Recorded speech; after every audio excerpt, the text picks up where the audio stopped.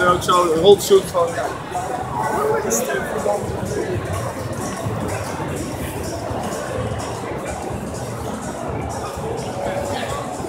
Hey.